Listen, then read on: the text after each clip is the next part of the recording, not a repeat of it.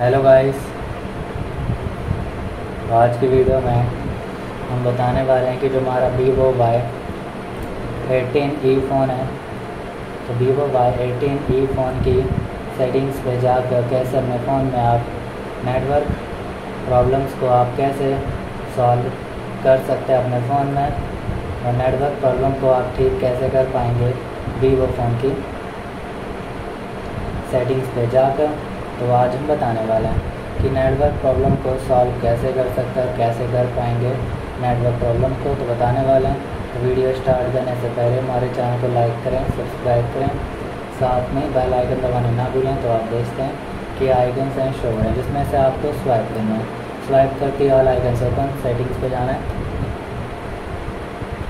Open open हो जाना, इस पर जाकर अपने फ़ोन में नेटवर्क प्रॉब्लम्स को सॉल्व कर सकते हैं और कर पाएँगे अपने फ़ोन में नेटवर्क प्रॉब्लम्स को। देख सकते हैं कि इसके लिए सिंपली आपको जाना होगा। सिस्टम सेटिंग्स पे।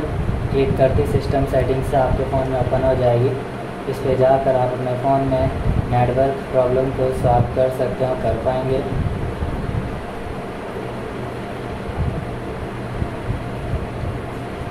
जिसमें से आपको रीसेट ऑप्शंस मिल जाएगा।